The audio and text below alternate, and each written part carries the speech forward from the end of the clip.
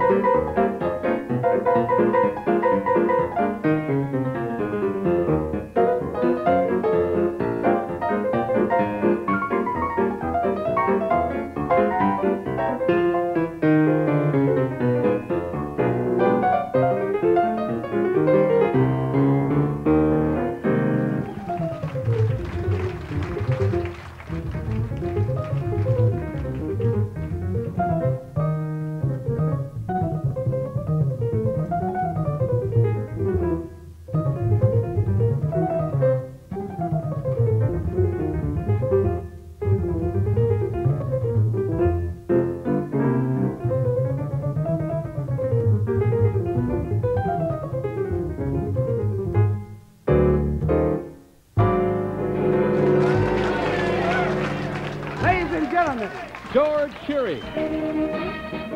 George Shearing is one of the jazz greats. Louis Armstrong. Jack Teagarden. He was part of the post-war jazz explosion that centered around New York's 52nd Street.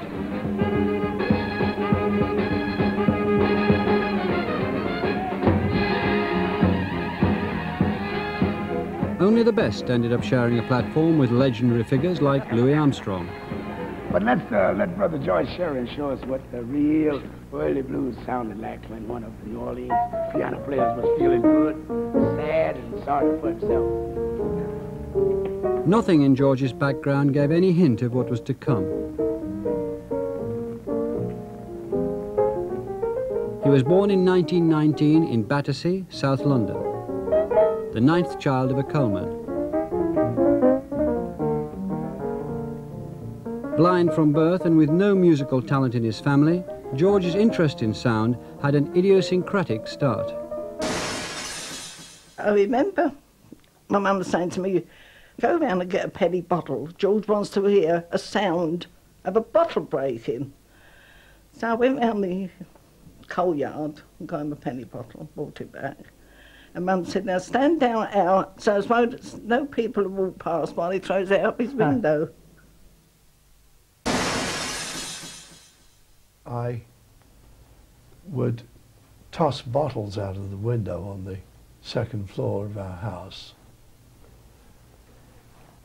just to hear them clank on the on the sidewalk. For uh, uh, jazz, of course, I would use beer bottles, and for classical, I'd use milk bottles. You know, so even in those days, I had quite a, a discerning taste. You know. Then I'd sweep it up. it's funny, really. When Mum did buy him a piano, she paid five pounds for it. It was an old piano, so she didn't mind what he'd done with it, really. So he used to sort of get the hammer and bang it on there then. My father bragged it would cost uh, uh, 15 shillings to teach me to play piano. Well, I mean, nobody can be taught the piano for 15 shillings, but it probably amounted to uh, seven lessons at two bob a crack or something, you know. George's natural talent was developed by the teachers at Linden Lodge, a school for the blind, in particular by a teacher called George Newell. At 16, he said to my parents, just the time I was going to graduate from school, further study of classical music for this young man, man would be an utter waste of time. He said, it's obvious to me that he's going to be a jazz musician. And I went back to the school in 1962. the same teacher was still there. And I said, Mr. Newell, do you remember the advice you gave my parents when I was 16? He said, yes, I do. I said, has it come to your attention that I've played many symphony concerts through the United States, playing concertos with many of the well-known symphony orchestras? He said, yes, it has. I said, armed with that information, if you had to give that advice today, what would you say? And he said, I suspect your largest dollar still comes from jazz. I said, it does. And he said, my advice would be exactly the same. Very wise man. So you left the, the school then with this advice and, and started to try to make a living as a, well, frankly, beginning as a pub pianist, wasn't it? That's right. I would play things like.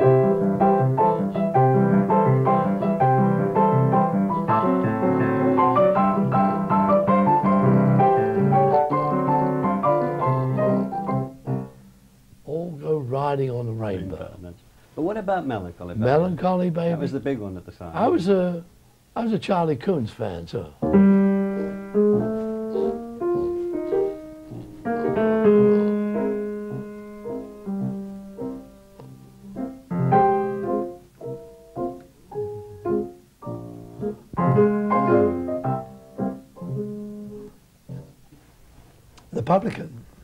Say to me, George, he said, you know, this is a neighborhood bar.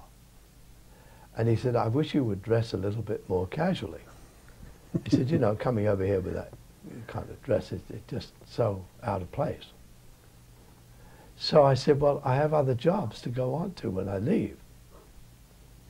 And he said, well, I think you should choose between them and me. And I said, I will. When would you like me to leave? My father said, son, should be ashamed of yourself. He said, the man has been so good to you. I don't think I have to describe to you the pride and the, the faithfulness of the British working man. I said, Dad, been good to me. He's paid me my salary. I was playing it under better conditions. I was playing in the Park Lane Hotel, Grosvenor House Hotel, and at the Greyhound Racing Association in Wimbledon. And we would play in the first half of the program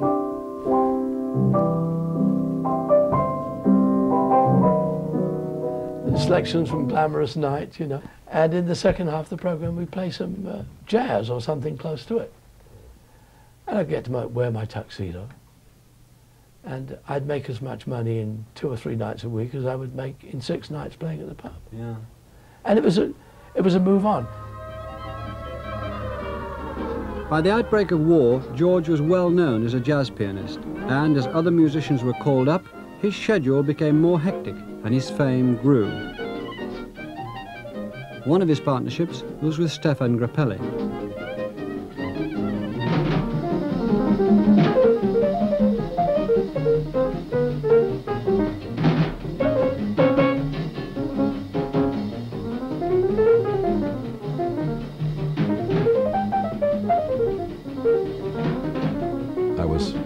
Much impressed because in those days it was really quite rare to hear an English musician that had that kind of talent for playing what was essentially an American art form. You know, he, he really swung and uh, had nice rhythmic feeling. And uh, in general, he sounded more like an American musician than just another English guy trying to play him in American style. And uh, he also played the accordion, which is an instrument I detested, uh, but I thought it was a novelty. And, and on one early recording, which I've happily been able to live down, I played the piano and George played the accordion. We called it Squeezing the Blues. And it is fortunately totally forgotten now. I hope the master was destroyed.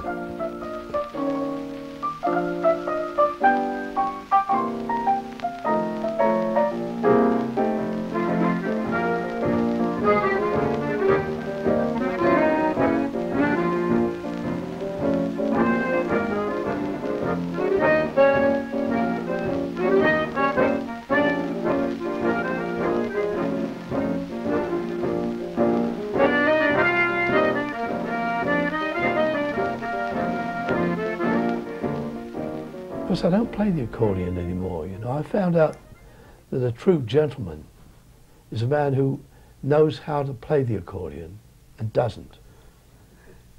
It's a shame. It's got a lovely sound, on accordion. You I like the accordion? I, I heard a guy playing it the other night. I just thought, what a beautiful sound it was. A guy called. Well, it's uh, accordion how it's played. Isn't mm, it? Oh, sorry. Thanks a lot. Yeah. Why did you feel that you had to come to the United States? You're doing very well indeed in England, to put it in I a more was, formal sense. but you know, you wanted to come here. I wanted to come here because I thought I'd gone as far as I could go. I was a leader of my own band for maybe one night a week, but for the most part I was a high-priced sideman.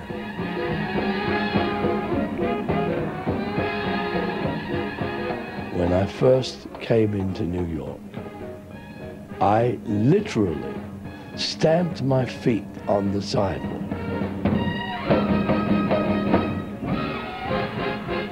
And I said to myself, this is the birthplace of Benny Goodman, Artie Shaw, Count Basie, Art Tatum, Billie Holiday, Ella Fitzgerald. And here I am.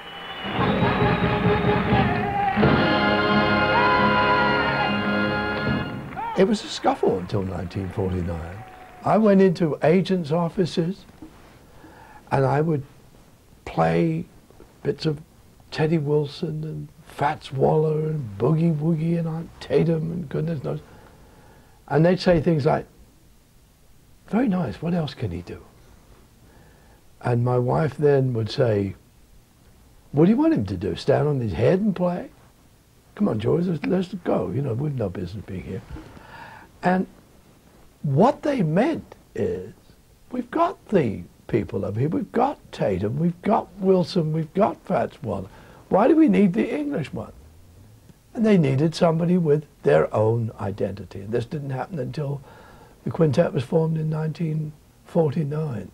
We were at the, the end of the bop era, you know, frantic. And we come in with this quiet sound. Vibes, guitar, piano, bass and drum.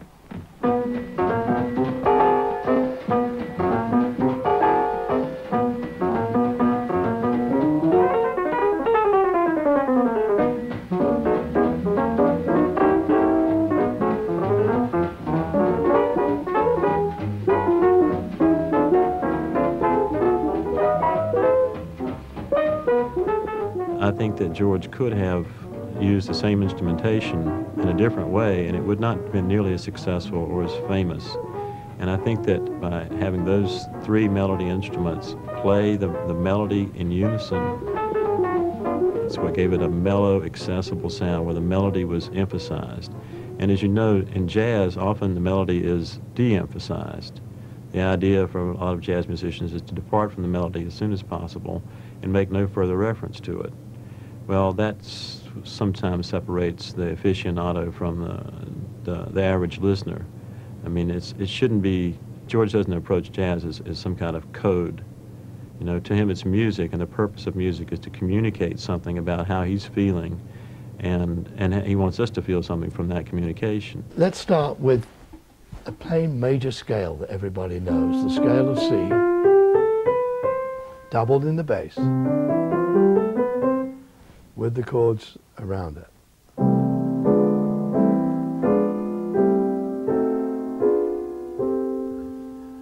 Sometimes known as the locked hand style, and I've actually had people come up to me in all seriousness and say, are your hands locked together when you play that? I said if they really were, I couldn't play anything, but it's just that it all happens within the distance of an octave.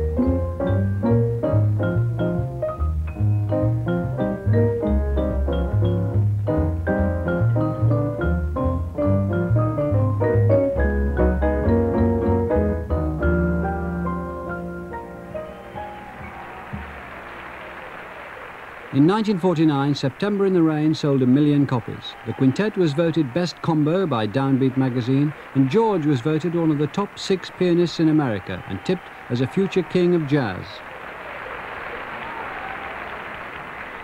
In 1952 came George's most famous hit, now a jazz standard. I was sitting in my dining room in New Jersey, and this thing came to me. I always say that I wrote it in 10 minutes and 35 years in the music business. And that's the important factor, not the 10 minutes it takes you to write. And you've got to present it different ways. This is something on the order of Bach to start with.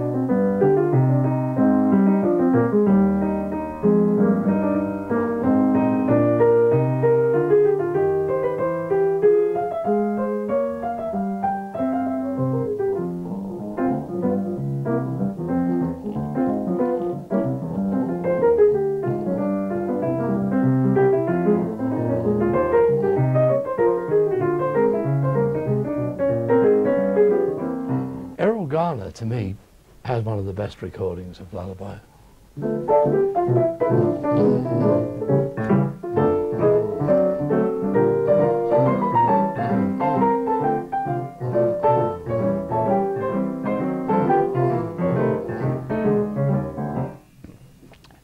Had it been written by Frédéric Chopin, perhaps it would be on this order.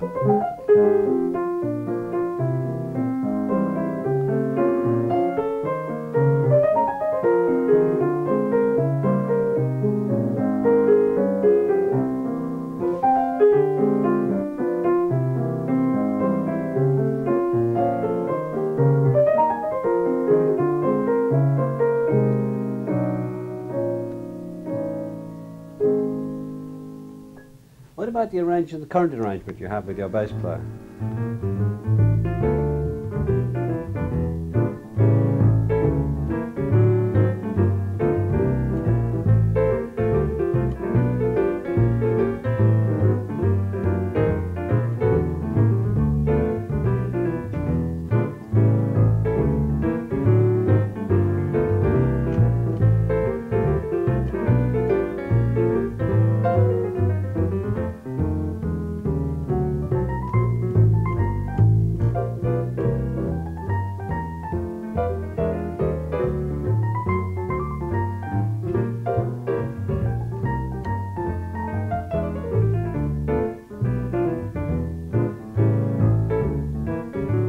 Beauties of playing with him is that so many little things creep in that are totally unexpected, that we've never played together or that he has never played before, and all of a sudden it's, wow, what was, what is that?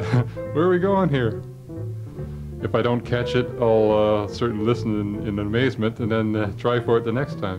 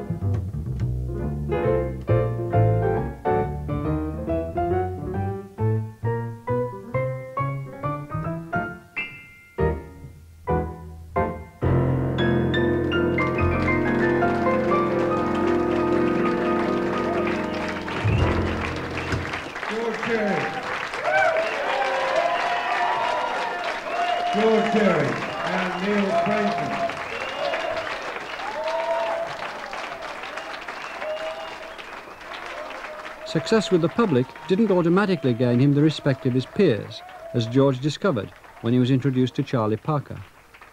And I really should have said, I mean, I was brought up properly. I should have said, what would you like to play, Mr. Parker? I didn't say that. I said, what do you want to blow, bird? and he thought, well, let me put this guy down a little bit. Oh, how about all the things you are in five sharps? Fortunately, I was equipped to do it. I really appreciated it as being a test. Can you put your fingers where your mouth is, Sonny? You know, I really did. I loved that man. He was just a joy. I think that George disproved several notions. One is that um, Europeans don't understand the concept of swing. Well, that was pretty quickly dispelled just listening to him play. And the other is a racial thing.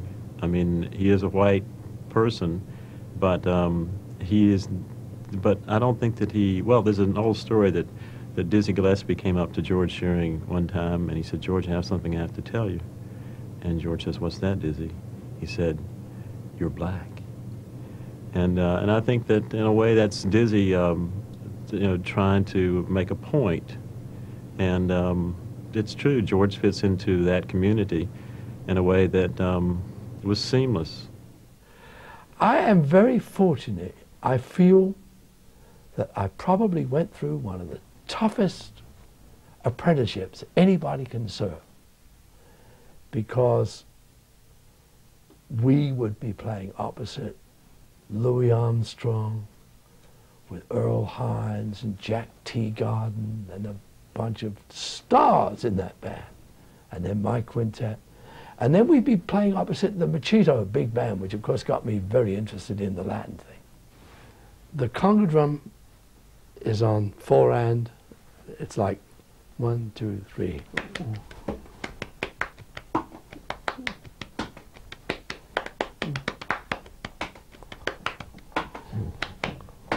And the bass. Piano.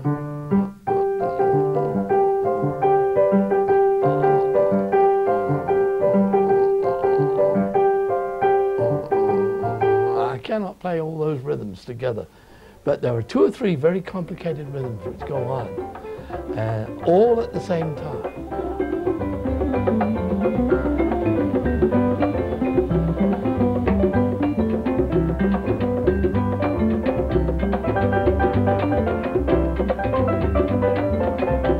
Fly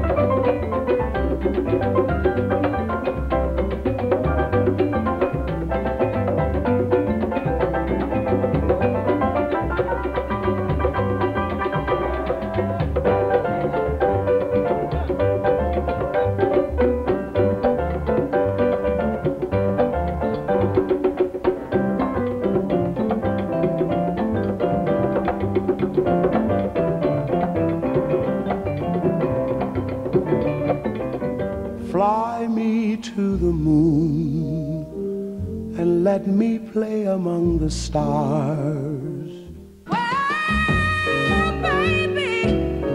You can have me for yourself or all by yourself. You are meant for me, Daddy. I don't want nobody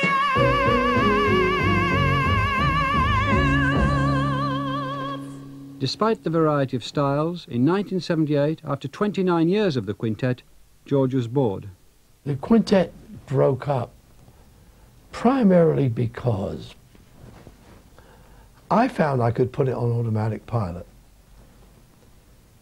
When you start to get bored with something, you've got to do something about it because it shows first to yourself, secondly, you know, to to the critics and to the public. So you've got to uh, do something about it. And I did. I went down to, to bass and, and uh, piano. It gave me a lot more freedom. I no longer had to do this. I could.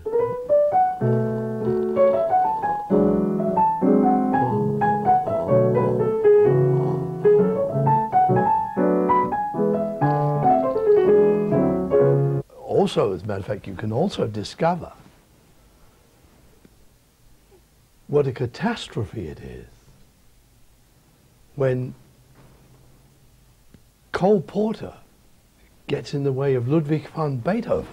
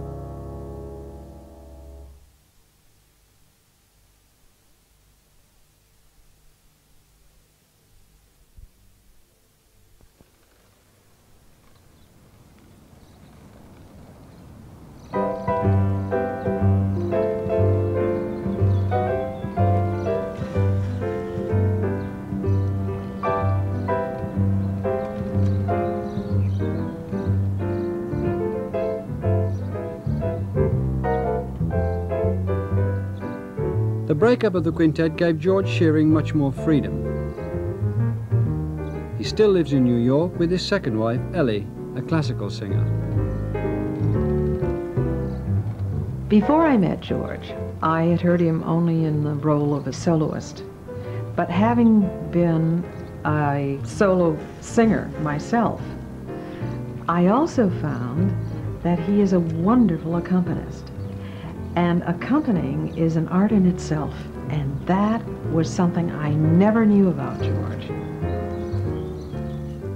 Because an accompanist has to be able to know when the singer is going to breathe, uh, when they're going to slow down, when they're going to speed up.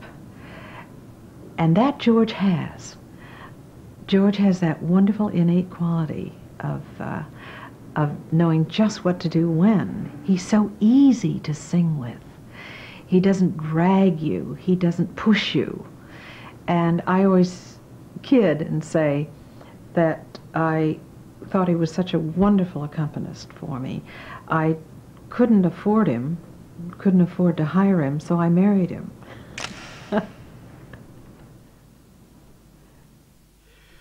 Well, we used to call each other two bodies with but a single musical mind. And the reason for that was that we both have a kind of strange radar going. He'll start playing something and even incorporate a piece of classical music into the popular vein. And I will respond in kind and add to the pastiche, okay? And consequently, uh, we find that those hair trigger moments, those wonderful, wonderful moments when we, we gel, when we coalesce, uh, are absolutely marvelous. That it might as well be spring.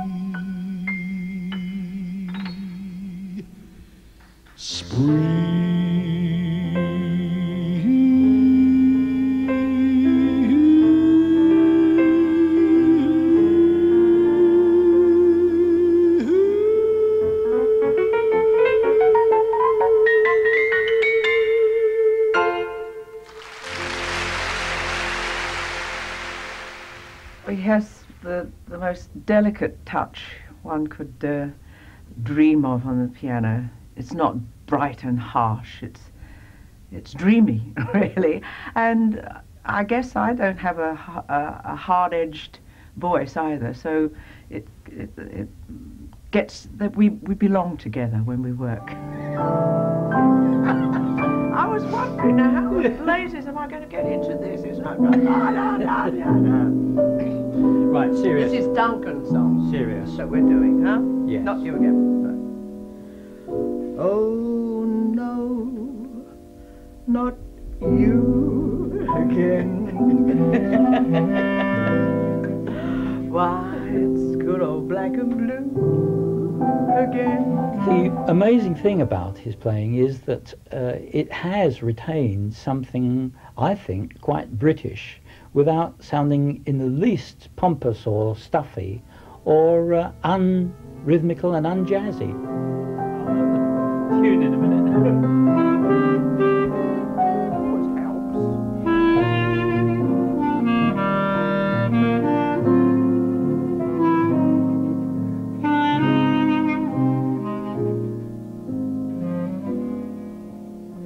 The piano is not an easy instrument to become uh, distinguishable on because you don't have any things to slur or bend or make funny noises through. You have to just bang white things down and occasionally black things. And uh, George has managed to carve a niche to make him one of those few distinguishable pianists in jazz. You know, you get a, an Earl Hines style, an Oscar Peterson style, a Teddy Wilson style, an Art Tatum style, and a few others, and a George Shearing style. You cannot mistake it.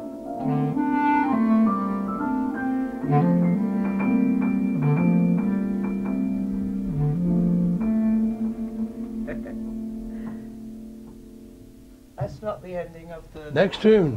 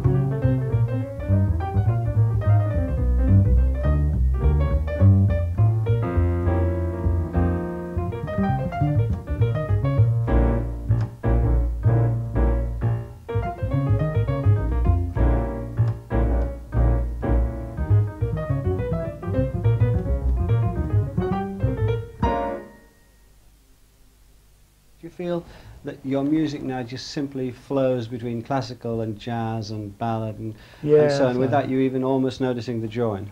Yeah, this is why I don't want to be pigeonholed. Don't like to be pigeonholed. I mean, what's a jazz musician doing, playing a Scarlatti sonata moving into my favorite thing. It's got nothing to do with jazz at all. It Has a lot to do with music.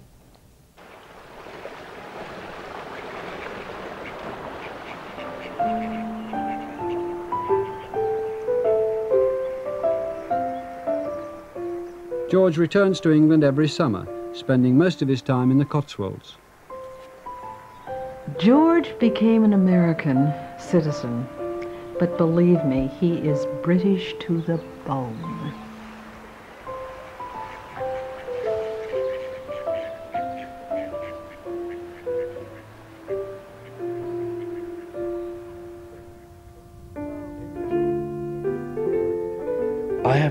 Visited this country one time without feeling that I am once again back home.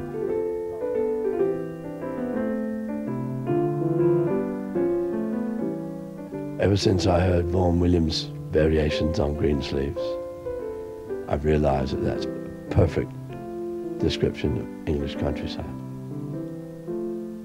And I think there's a tranquility in some of my parts of Greensleeve until we decide we're going to get a little bit more upfront and, and you know, a uh, bit heavier in texture.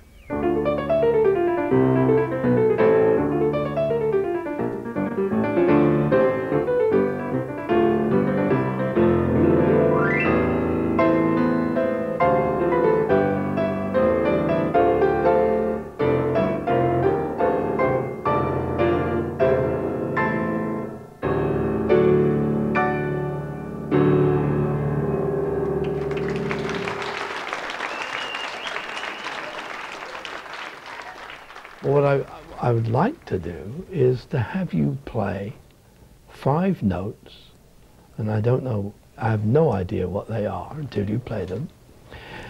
After this, I will make a, a melody, or depending on what notes you play, what comes into my head. And out of your five notes will come either a tune or a piece that either comes off or doesn't, as the case may be. And this is the thing about improvisation. All right. Here we go. I lean over here. I do up in this register here. Anywhere.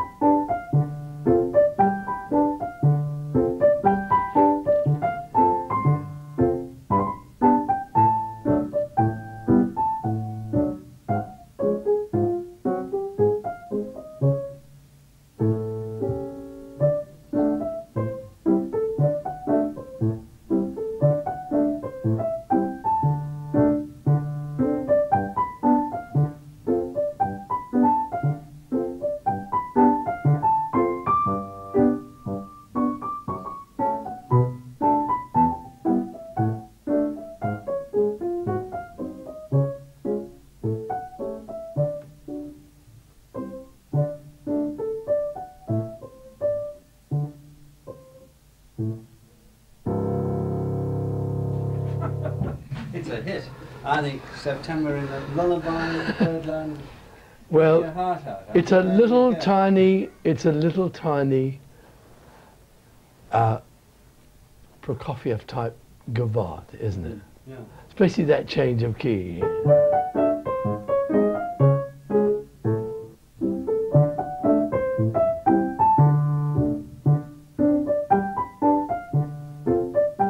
Ellie discovered that George's knowledge of classical music and talent for improvisation can be combined to devastating effect.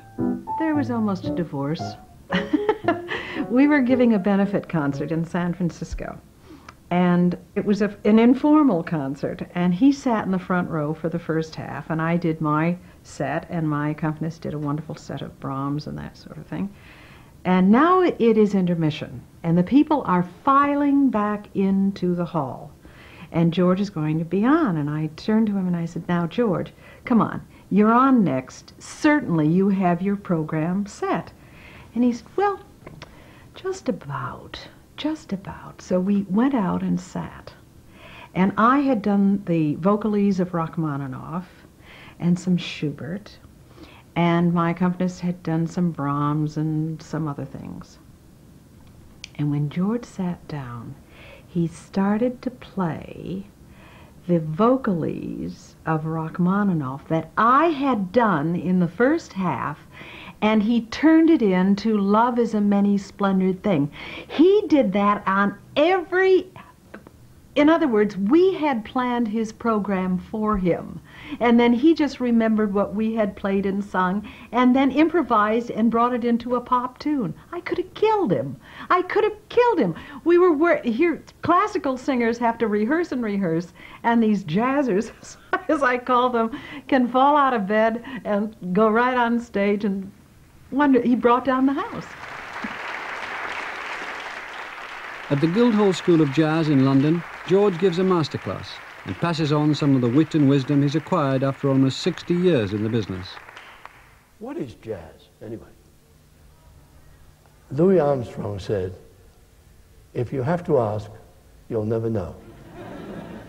One of the great stride pianists, Fats Waller, and I was fortunate enough to know him.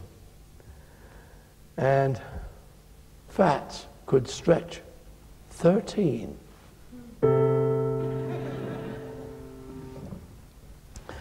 I'd heard about this, and I took full advantage of my blindness for once. And when I met him for the first time, I deliberately, I shook hands with that, so pleased to meet you, Mr. Waller. And the ham was still going on, you know.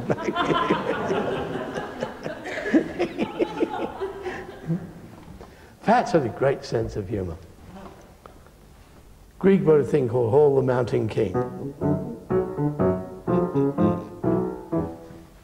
You might hear it in this piece of music called Viper's Drag, written by Fats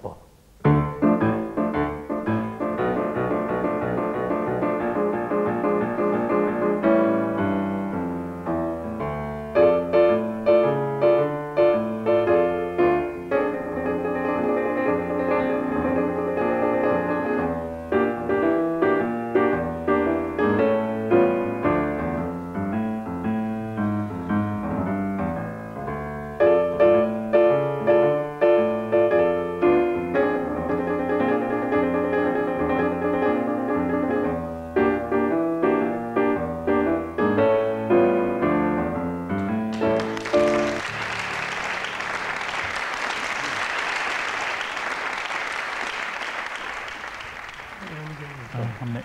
Nick. Yeah. Hi You're oh. the first one I met. aren't That's you? right, yeah. Yeah. Two, three, four.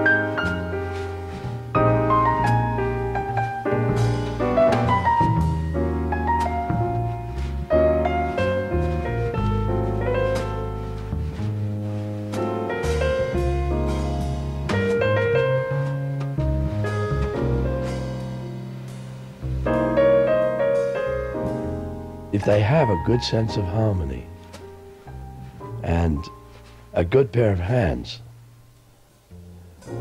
and some kind of knowledge of how to use their technique to its best advantage, the more of that they have, the less I can teach them. And then I can dwell into finer points like, uh, oh, inner voicing.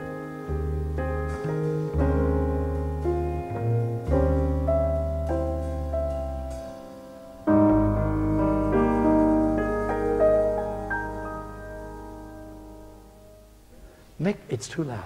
Your, Too loud. Your, melody is.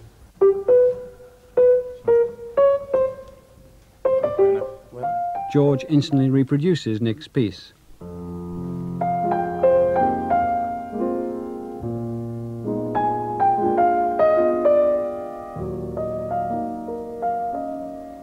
And when you, when you come down for the, the change, the transposition, even come down lower. Right, Huh? yeah, yeah. This kind of thing. Yeah, that's right. yeah.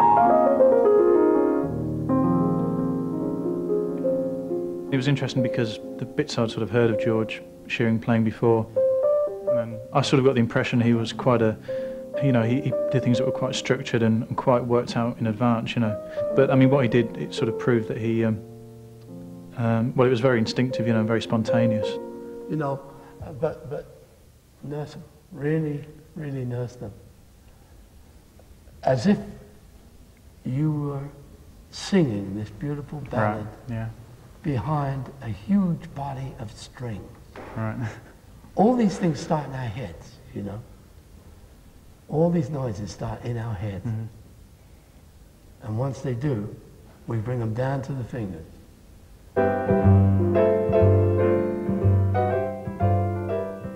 At 75, George remains a favourite of the New York club circuit. He's played for three American presidents, and he's still bringing out new albums, including one that revives the George Shearing Quintet. Have a look back on the distance you've travelled from the ninth son of a coalman in Battersea, born blind, ending up as one of the great musicians. Do you ever look back and think, Oh. how did I get here? All the time. But hopefully I've also proven that I never will and never have forgotten where I came from.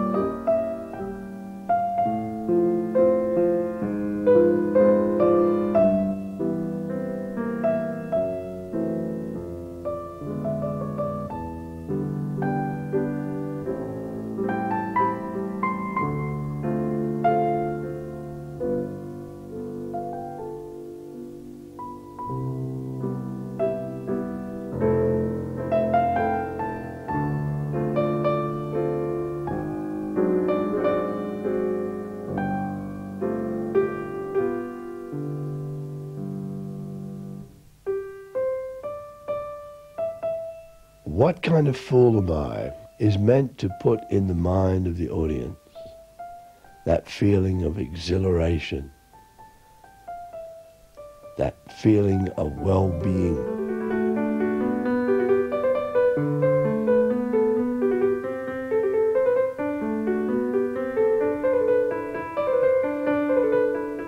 And to that degree, we throw the hands up and bring them down on these chords to, to, to give the feeling of this is all I've got left and you're welcome to it.